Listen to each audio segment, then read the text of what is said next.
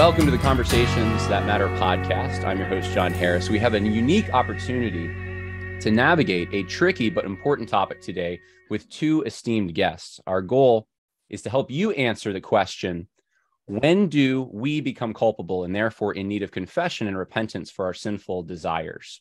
Is it at the point of temptation? Is it when we internally entertain our temptation? Or when this sin is manifested and we are overcome by an external act of sin? Currently, the surrounding world is running blindly toward the view that sexual preferences do not intrinsically possess a moral component. Advocates of side B revoice theology maintain that Christians do not experience homosexual desires as a result of sin and should include their attractions as part of their identity. Both of today's guests oppose these positions, but there is disagreement over whether being tempted by inner temptation or, or um, inner sinful desires is a sin to be confessed. Can the position that it's not a sin to be confessed serve as an initial step to rationalize revoice or is it simply what the Bible teaches?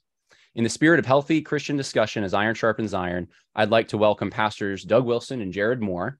And uh, thank you guys, both of you. Welcome to the podcast. Thanks for having us. Yeah, thank you for um, letting me participate. Well, for those who don't know, I think a lot of people probably do, but Doug Wilson, um, Pastor Doug Wilson, serves as the pastor of Christ Church in Moscow, Idaho and he's a faculty member at New St. Andrews College, author and speaker. And uh, I believe you're the founder of Canon Press as well. Is that correct? Yeah. Okay. And uh, Pastor Jared Moore uh, is the author of The Pop Culture Parent. He's written for founders and monergism on the topic we're going to discuss today. And he graduated from the Southern Baptist Theological Seminary.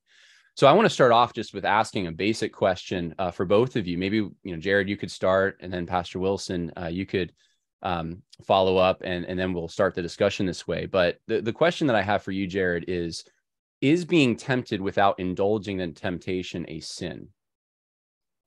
Well, it depends on what kind of temptation it is.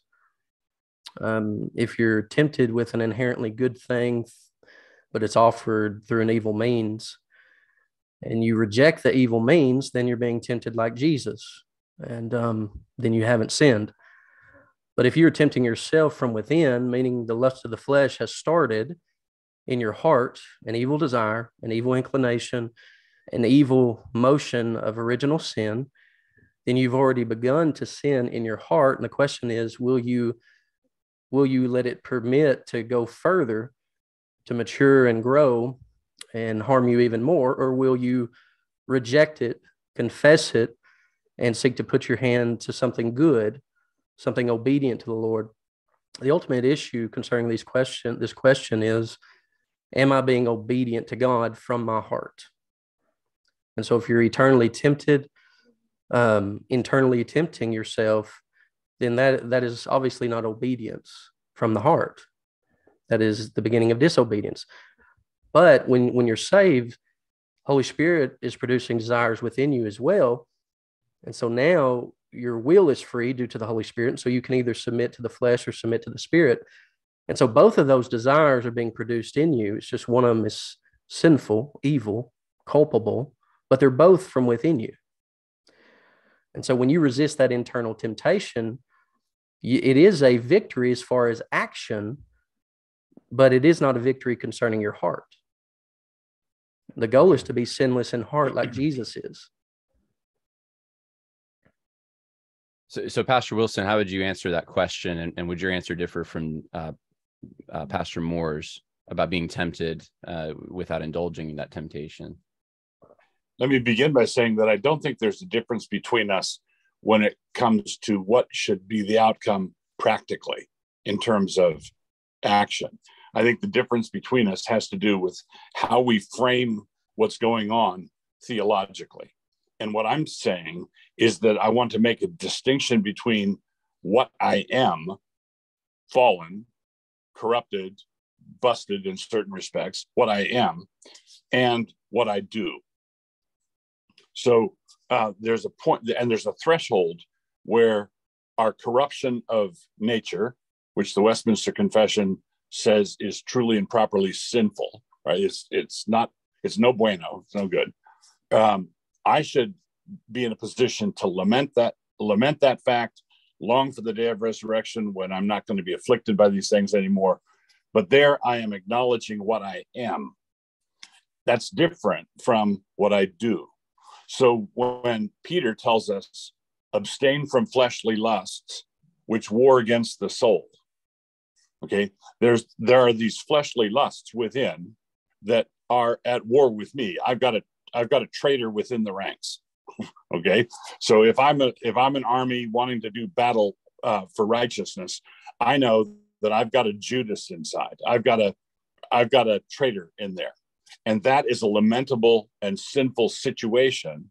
But it's not what I'm doing, because it's possible, I believe, for us to obey what Peter says to do when he says abstain. So abstain from fleshly lusts. And I think that if I don't abstain, if I if there's any kind of dalliance, or even if it's 15 seconds of man, I man, I really like to go that way, and you give way, then that's 15 seconds of sin that you should confess. But I don't think you need to confess as a particular sin the fact that this situation arose. You do need to confess that you're sinful, you're corrupt and sinful, but that's an acknowledgement of what you are, not a confession of what you did. You didn't do anything wrong. Okay. Yeah. Jared, Jared any uh, thoughts? I, I want to hear you guys interact on it. Uh, do you disagree with anything or you guys in agreement on that? Um, what Wilson just described is a, um, a particular instance of emotion of original sin. I mean, he, um, Pastor Wilson, you you say you're describing what you are fallen, but then you describe it as a particular instance of fleshly lust, and then say you don't have to confess that particular instance. And so I'm. You, you don't have to confess it if you do what Peter says to do and abstain. But it's a motion of original sin would you would you identify it as a motion of original sin as the Westminster does? Well, I don't think we can be that particular of about of about a, a specific situation because I, we're up against the world, the flesh, and the devil, all three. All right, and there are times there are times when the only one responsible for the temptation is me. you know, the devil's leaving me alone and the world isn't doing anything and it's just me. Now, I believe that that would be a motion of uh, uh, when original sin starts to move and make suggestions, then I think confession would be appropriate. But uh, when I'm driving down the highway, minding my own business, singing songs, and then there's a billboard with uh, some lady with not very many clothes on, and it, and it hits me, that's the world. And then the devil's on my right shoulder saying, Hey, look at her. Okay. Well, I'm not in a position to parse out how much of that was world, how much of that was devil, how much of that was the flesh. All I'm responsible for is to abstain.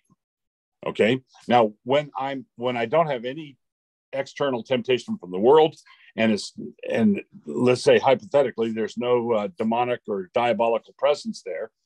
Colossians three five says, "Mortify your members which are on the earth." All right. So I've got members which are on the earth. And you rightly said our duty is obedience.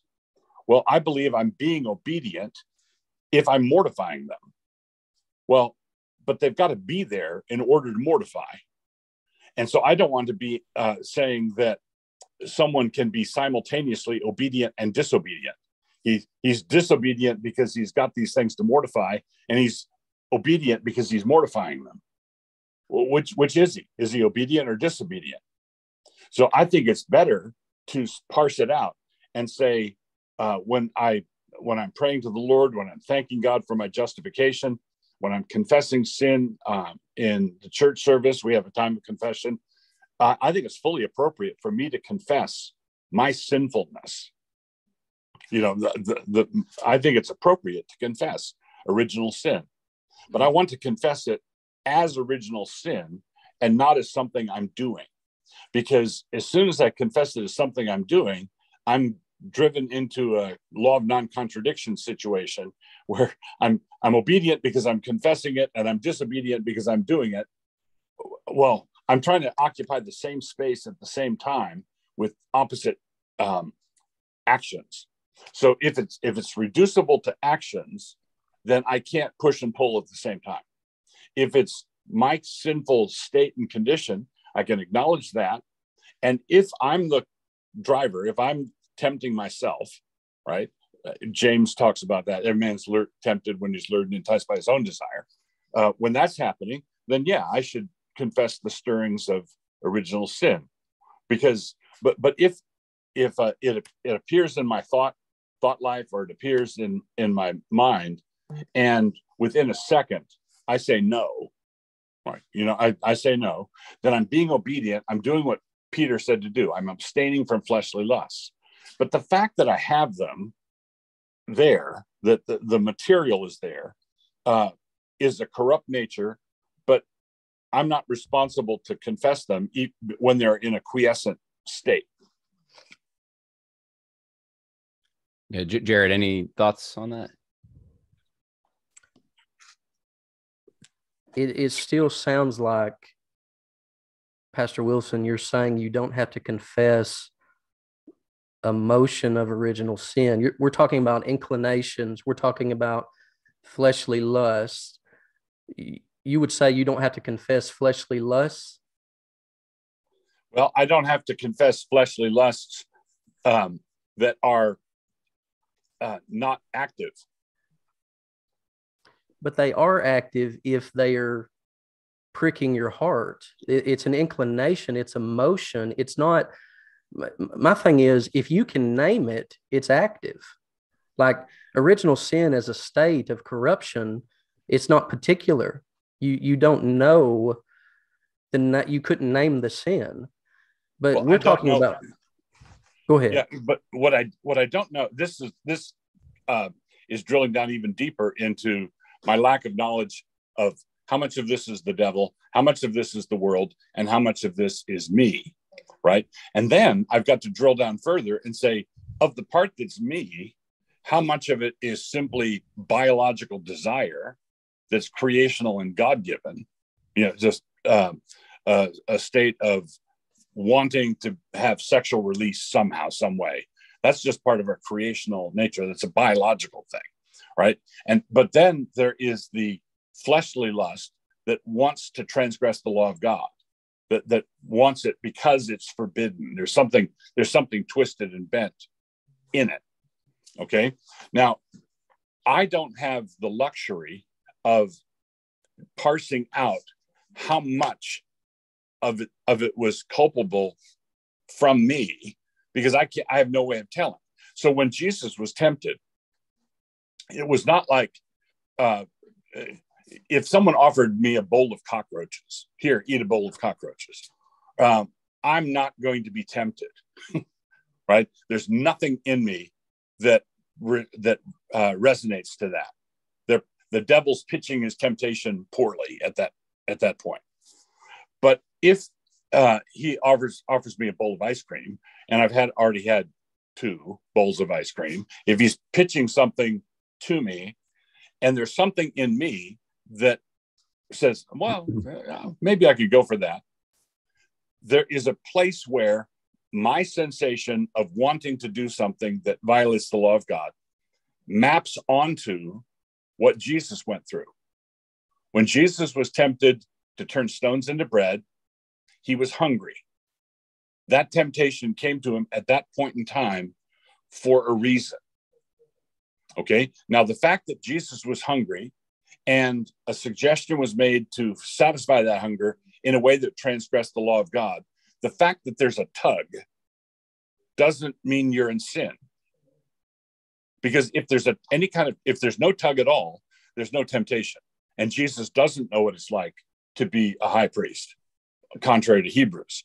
But if there's a tug, then that doesn't necessitate sin because Jesus never sinned. So, is there any area where there's a tug or an allure for a sin- sinful person like me to do something that would violate the law of God? It's enough of a tug that I recognize it and realize it, and in that moment say no. Can I walk away without confessing a particular sin and a, a, a sin that I committed. Now, I also recognize that some of the tug has its force for me in ways that it didn't have for Jesus, because Jesus never had antecedent, antecedent sin or experience with sin at all. So, in some ways, the tug is worse for me, but in other ways, the tug was worse for Christ because he's the one, you know, we're all standing at 100 mile hour winds, and Jesus is the one not blowing over. And that means he knows more about the wind than we do. Jesus knows more about temptation than we do because sin doesn't qualify me to understand. But it does, it, it opens me up in some ways. And I think that there are times when that happens and I can walk away, lament my corrupt nature, lament the fact that I'm in a world where this sort of thing happens to me, and thank God for the imputation of Christ's righteousness, and thank God for the deliverance from I didn't go look at that porn site or I didn't I didn't go do whatever it was. So there, there's a lot to unpack there. Um, in talking about Jesus's temptation, do you believe that he desired to disobey God? No, he desired to not. Okay, so when you say he was tugged toward the devil's offerings, what do you mean? So um, John tells us um, to love not the world or the things in the world, the lust of the flesh, the lust of the eyes, and the pride of life. I think that that maps onto the temptation in the garden. Lust of the eyes, Eve saw that the fruit was good to look at. It was lust of the flesh, it was good to eat. Pride of life, able to make one wise. So I think worldliness was the temptation that Eve fell to um, at at that moment. And there's a mystery in temptation. If if all if all Christ's temptations were just technically temptations, but all the devil was doing was offering him bowls of cockroaches, right? Where there was absolutely nothing in him that wanted to have anything to do with it, then it's hard to see how we have a high priest who knows what it's like to go through what we're going through. There, there has to be some element where Christ felt the pressure. And we know we know that he felt the pressure. Uh, it says in Luke, I think it's in Luke, when the devil left him after the temptation, it says he, he left him for a season. He left left him for a time. So I don't think Jesus was tempted at the beginning of his ministry and then it was all plain sailing after that. I think he was tempted later. And we knew, I, I would surmise that one of the great temptations was in Gethsemane right? It, we have a the Father's will and his own will, and he subordinates his own will to the Father's will. And he says to his disciples that he is exceedingly sorrowful, even unto death. He felt it, right? Now, what I'm saying is that to feel the pressure while you're in a battle, resisting that pressure is not a sin. Okay, that's what I'm maintaining. Uh, as soon as I give way, as soon as I tell the devil, man, you've got a point there, and maybe I can just dally with this a little bit longer. Maybe I can prolong the battle so I can enjoy the temptation. There's all sorts of rationalizations that, yeah, I should, I should confess my sin as soon as I catch myself doing any of that stuff. But I don't think I need to confess being in the battle itself. I don't think I need to confess feeling the force of it because Jesus felt the force of it. But Jesus so in, in the blog article that you wrote in response to me, you mentioned a fellow who is having same sex attraction and he's on a computer and he a pop-up pops up. And it is of uh, homosexual pornography. Right. And his heart says it's good to him but then he resists it. Right. And so that that example that doesn't sound like are you are you comparing that example to jesus's um experience in the garden of gethsemane as far as feeling the force of it? No i think they're not exactly comparable because as i also noted in the article there are certain sins that have prerequisites. Um, jesus was never uh, uh, you know tempted to shoot somebody for drug money. Um, there, there are certain sins that you can't get to without a long trail of antecedent sin. And homosexual temptation is, Paul describes in Romans 1 as sort of the end of the road, right? So I don't believe that Jesus was ever tempted to molest little boys or was ever tempted in a homosexual way. But I do think that all the common human temptations of preserving his life, um, vindicating himself in the, you know, if you throw yourself down from the temple, uh, to bypass the cross, all there are a number of temptations that you might describe as standard issue human temptations. Christ felt the force of it. So the the comparison with the guy the the guy with same sex temptations and the pop up ad and Christ temptations there's they're they're only comparable in this one sense that Christian resisting same sex temptation can draw solace and strength from the fact that Jesus knows what it's like to say no to a sin, even if it costs you. Jesus knows what it's like to feel pressure, not pressure of the sort that I'm feeling, but pressure to do wrong. Now, there's one other thing, and this is important to acknowledge. That I, I think this is the point you could make. There's a difference between someone who is tempted to have a third bowl of ice cream, and not, but there's nothing wrong with ice cream, and someone who's tempted to eat a bowl of dirt.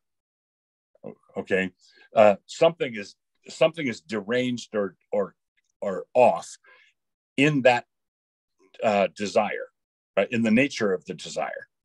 Um, so uh, eating a bowl of dirt is not the same thing as eating a, a second piece of cake or you know it, it's so there are heterosexual temptations that are the equivalent of the second and third piece of cake right? And there's certain uh, sadomasochistic or pedophile temptations or you know things like that that are more comparable to eating a bowl of dirt. And and when that when when the christian who's allured by that recognizes he's allured by that he confesses the sin it, well he what he does is he resists the temptation he abstains from fleshly lusts he thanks god for keeping him out of sin and then if he's wise he's going to lament the fact that he's still uh, busted up in this way. He's still fallen in this way. He, he acknowledges the corruption of his nature because only a corrupt nature would find something like that attractive.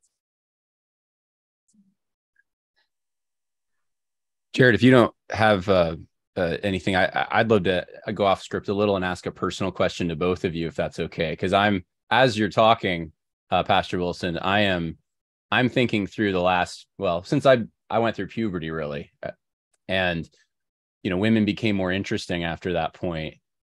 I no, no are you serious? They did. I i don't know what happened to me but yeah. So um i remember at first thinking like something was wrong with me like a lot of you know young men do and um I, you know, you kind of enter as a Christian a state of lust management, I suppose, right? Like mm-hmm. I, I, know not to walk over there. I not I know to put the security blockers on my computer and all of this. But I've been confessing for years, if um, and, and hopefully making progress in this area. If my heart skips a beat, right? If there's something that I see on a commercial, let's say I walk into a restaurant and, and something flashes before me, Mm-hmm. I my gut instinct that I've cultivated over time is to just immediately um, apologize eh, to the Lord, and it, it, it's not like a drawn out thing. It's just you know it's quick. It's mm. and and it's and I turn from that. Right. I, I don't I don't want to. I'm not going to look at that. Um, but I know that there's something in me that Jesus didn't have because I know he he would not have uh, maybe maybe he could have recognized beauty, maybe he could have recognized some of the uh, non uh, erotic attraction kind of things. But I um, I've always held the belief, at least by default, that Jesus wouldn't have felt that. So I just apologize, Lord. I'm I'm far from being perfect, and I'm sorry that that still um, can allure me um, as I've been married, as I've grown, I think it's gotten progressively better in a way. I, am more resistant to that. Uh, the, the inclinations aren't as much. Um, but you know, if if what you're saying is true, I'm wondering if you would think that that was um I don't think you're against what I describe, but if you would advise me if I was in your office in pastoral counseling to confess that, it sounds like you're saying that that initial look or that that um, heart jump that wants to go further in a way that Jesus wouldn't wasn't technically a sin. Am I tracking right or am I off? Right. I but I would uh, I would not encourage you pastorally. I would not encourage you to stop doing that. I would encourage okay. you when it's within a second. I would encourage you to change what you say. Right.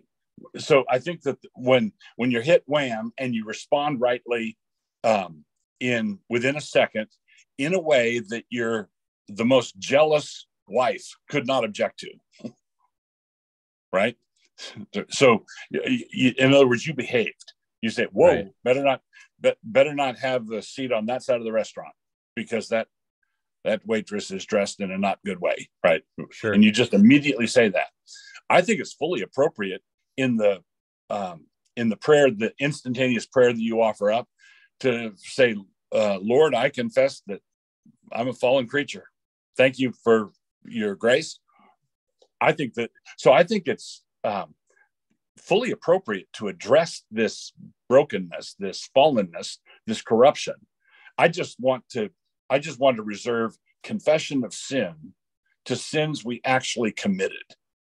So there's a point, there's a point where when Peter says abstain from fleshly lusts, there's a point at which I didn't obey him. There's a point at which I'm not abstaining from fleshly lusts. But I don't think that that point is when the starting pistol goes off, when the when the bell rings, when the when the temptation starts. I don't think I'm instantaneously defeated because I'm in a battle. Okay. Yeah, I, I can see where you're coming from there. um, Pastor Moore, do you agree with that, or would you say that I should be confessing that? Should be confessing it because it's a motion of original sin, as the Westminster Confession says, as the Heidelberg Catechism says. Um, that's why I mean that's why you should confess it if you can name it. So we're again original sin, fallenness. We're we're not talking about original sin or fallenness. We're talking about a particular instance of a motion of original sin that can be named. It's not like you don't know what this corruption is. It's a very particular thing, uh, like what you just described. It it has a beginning right? I mean, it, it started when you saw something. So, absolutely, it's a particular instance of, of sin in your heart. Now, though you have not failed outwardly, you have failed inwardly because you wanted something disobedient to God. But I would, I would interject there the instance, the particular instance at the restaurant or wherever it happens, that particular instance, the entire time the sinner involved was saying no. Not going to do it. Not going to go there. And I think that there's a dramatic difference between someone saying no the whole time and someone saying, let me think about it. Maybe, maybe just this once or any kind, any kind. I'm with you, uh, Jared, on any kind of dalliance, any kind of, okay. But as I, the illustration I've used is that this is playing tennis with the devil and you don't lose a point when the ball comes on your side of the net you, lose a point when you own it. When you now, because of our corrupt nature, there are tennis games that we shouldn't be in. You know, it, we shouldn't be in the. um, that's all true, but I just want to divide up what we confess. We confess our corruption of nature as sinful, and we confess our sins as sinning. So I'm sinning as soon as I say I can do it just this once, or I'm going to taper off, or I'm it's not really that bad because you know whenever you're rationalizing that way, it's sinning and it's the motions of it's the motions of original sin with me pushing them along. But if I'm resisting the entire time, if I'm saying no, no, no, let's not do this, then I don't think that's an in, the the motions of the the pot that got stirred in my corrupt nature that is sinful right and and and that is enough to damn me apart from the justification of uh, imputed righteousness of Christ, that boiling pot is enough to damn me because of what I am. But it's not what I did because I I'm I'm saying no. I'm yelling and hollering the whole time. Um, Pastor Wilson, so correct me if I'm wrong, but it sounds like you're saying that original sin is culpable sin, but then it produces something that's not culpable unless your will agrees with it. Is that what you're saying?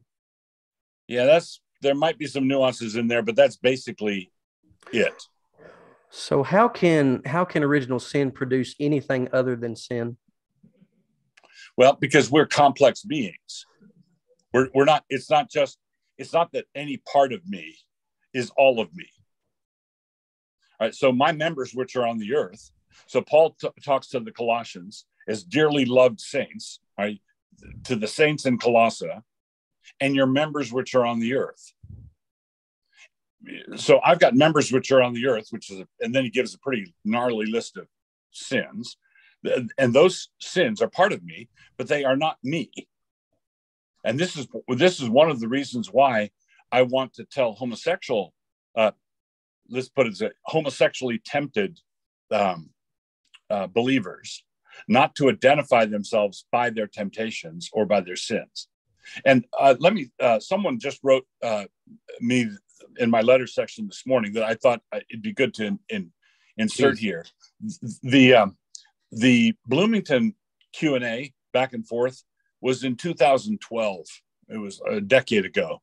It was before all the revoice stuff. Right. It was before the side B stuff. It was before the big rhetorical push came in the church that said you can be um, you can be have your flame on and be a gay Christian and bring those gay treasures into the New Jerusalem.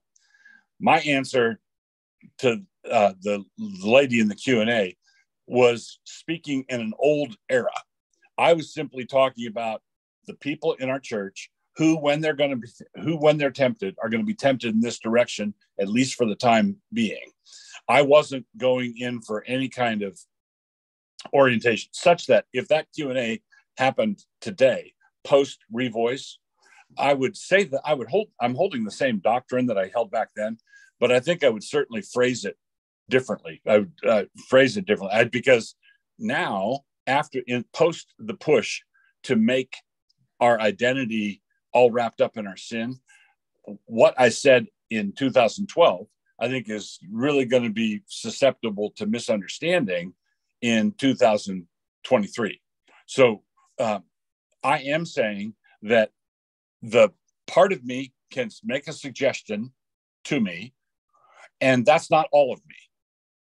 I'm my will, my choices, the new man, uh, all of that is uh, I'm a I'm a unit responsible before God as an individual, and the decision making process when I pursue righteousness or when I get into sin, that decision making process is um, complicated.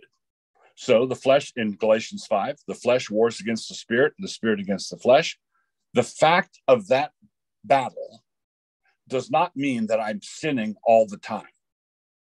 That's what I'm that's what I'm resisting. What I'm what I'm wanting to say is that it's possible for us to walk with God despite the corruption of our nature. Yeah, you know. Oh, go ahead, Jared. Did you say have something? I didn't. Go ahead, brother. Okay. So I was thinking of an analogy. And by the way, I just want to say I was going to bring up um, whether or not you would, if you had a redo on those uh, uh, Q and A's, whether you'd say something different. So I appreciate you addressing that, and that's I'm glad you said that because um, I, I definitely when I first heard it, I know what that communicated to me, or at least what, what I thought I was hearing was that in a room of people who believe in sexual orientation ingrained, right? Like we don't agree with should be part of your identity.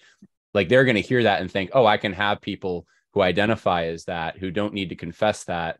Um, they just don't act on it. And so, um, yeah, we so we wouldn't let, uh, we would, uh, if we had someone whose temptations when they occur are homosexual. If I'm pastoring people in that situation, and I have and do. Um, and they started identifying themselves as a gay Christian. Um, we would say none of that. No, you're just a Christian. You're you're a member here.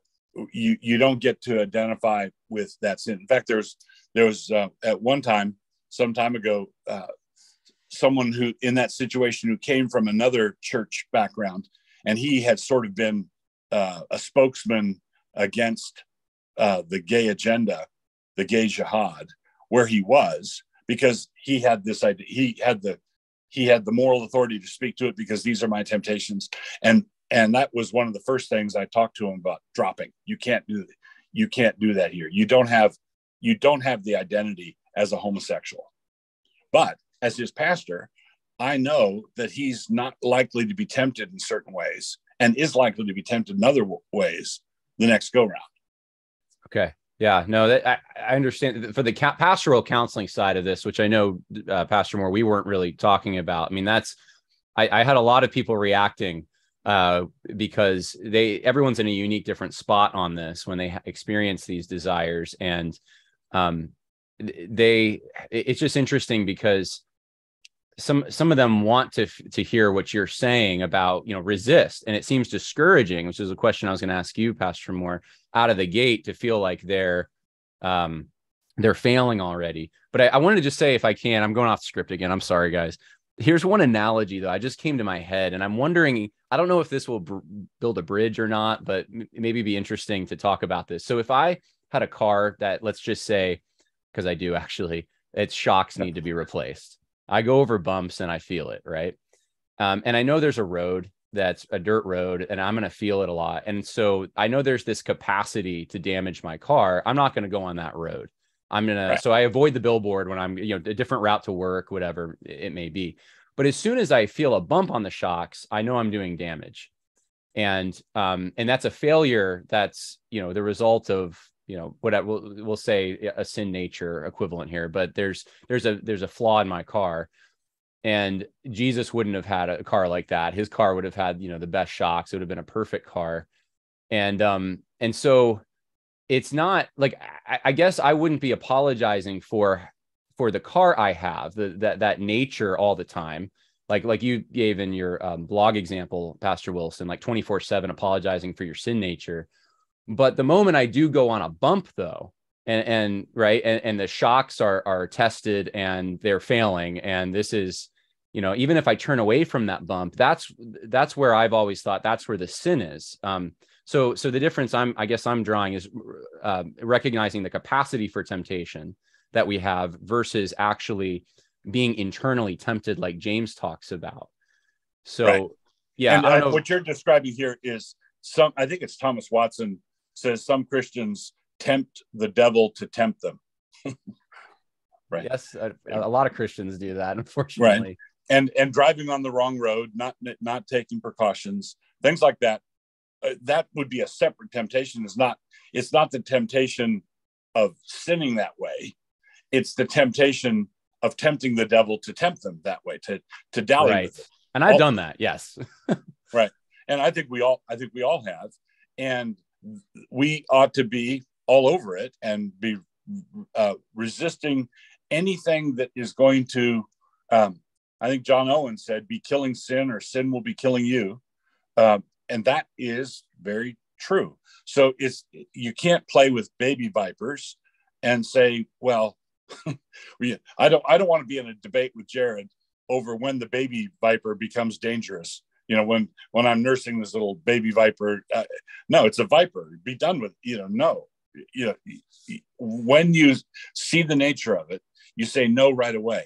I just want to say that it's possible for a christian to say no to something immediately. As soon as it as soon as it hits him he can say no and have the reflex action be no and have it be something that some part of his being would find attractive if he said yes. Yeah, I got you, uh, Jared. Since we have limited time left, uh, um, I mean, what do you? What, what's your reaction to this? I, I, I particularly, if you want to go down this path, be interested in whether or not the position that Pastor Wilson's advocating, if you think that that dovetails with uh, the Reform tradition and, and, and with what the Bible teaches um, with, with, you know specific passages and stuff. I don't know if you have that at the tip of uh, your tongue, but because uh, because I, would like to see the scripture back and forth. We've talked about what Peter said and a little bit about James. Paul Paul says in Romans seven that he lusts with his flesh. Um, it is his flesh that is lusting. It's sinning. Um, even when he's not consenting with his mind. I mean, that, that's how Paul describes it in Romans 7.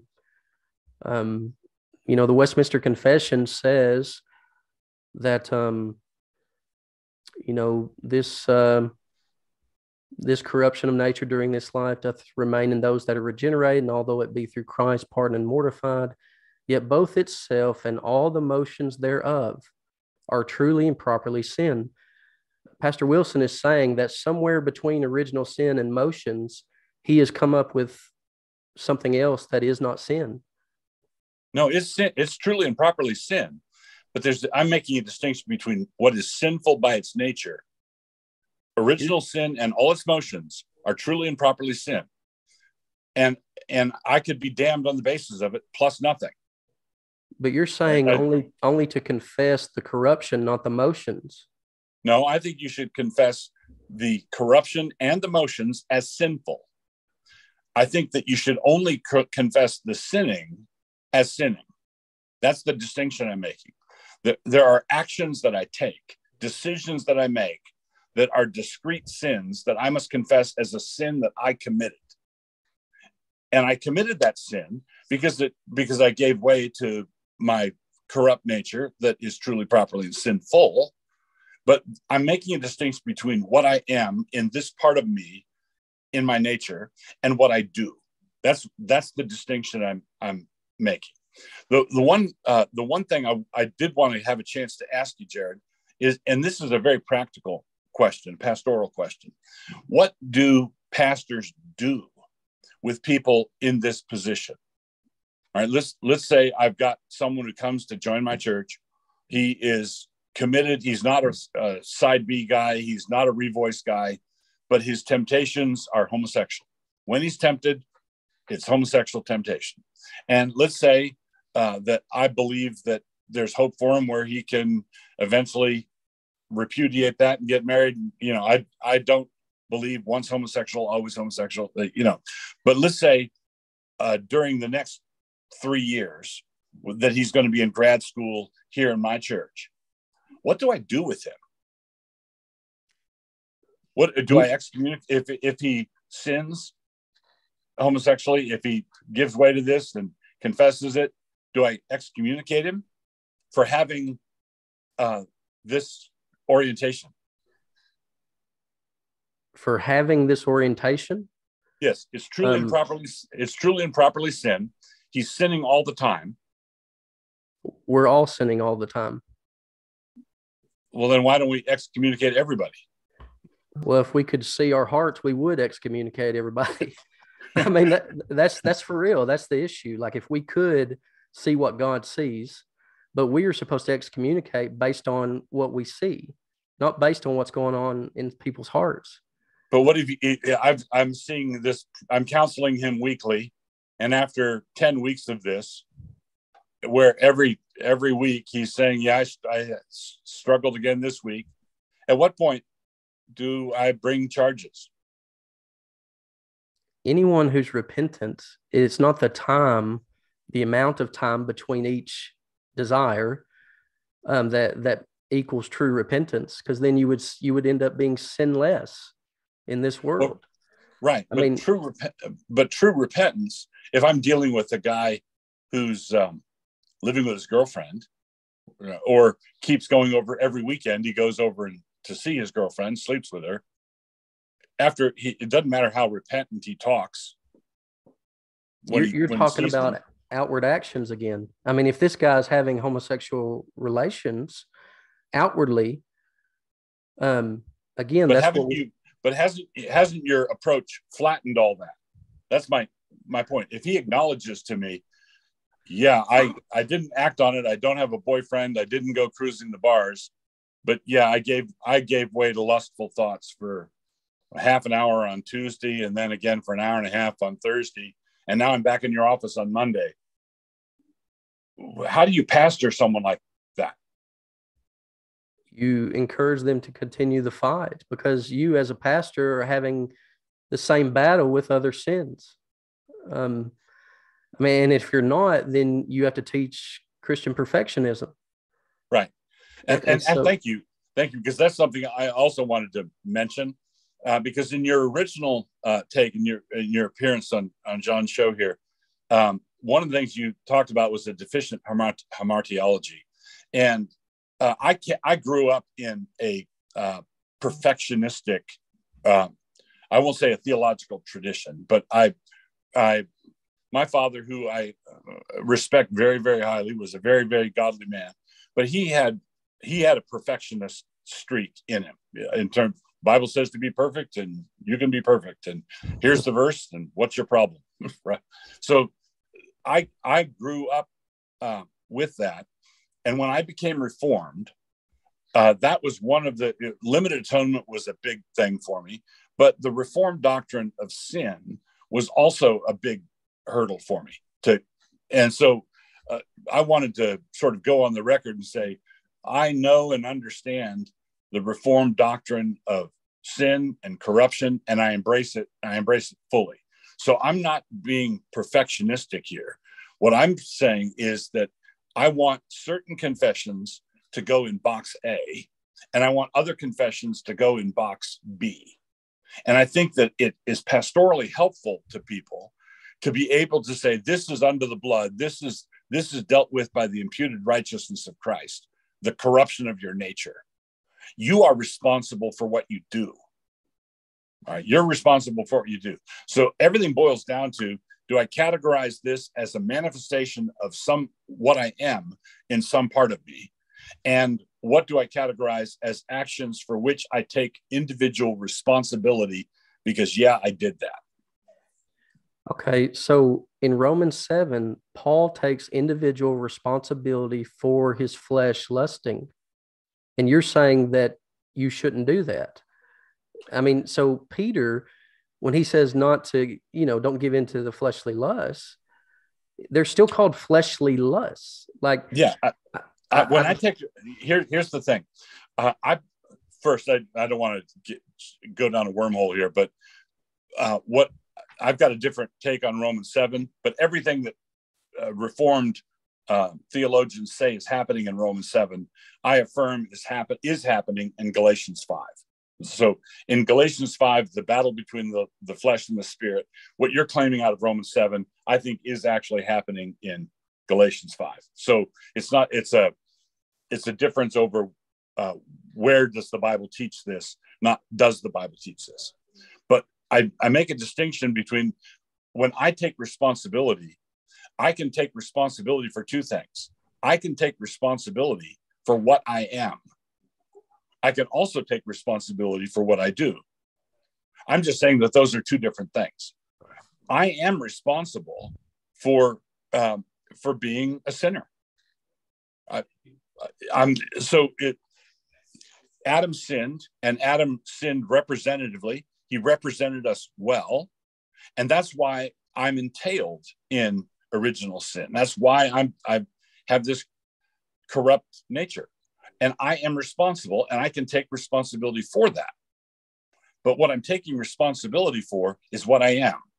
And then in another venue, in another area, I also take responsibility for the things that I do or think or say or play with. So I don't know if you have anything. Oh, go ahead.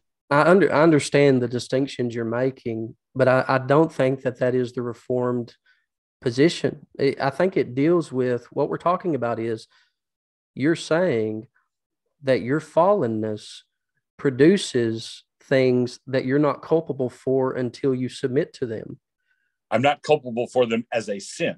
I am culpable for them as as my nature but but you're saying you don't have to confess them whenever they come from your heart you're saying you don't have to confess like when a particular fleshly lust springs up you're saying you don't have to confess it you're saying you have to confess your fallenness But when that fallenness actually moves, you don't have to confess the motion.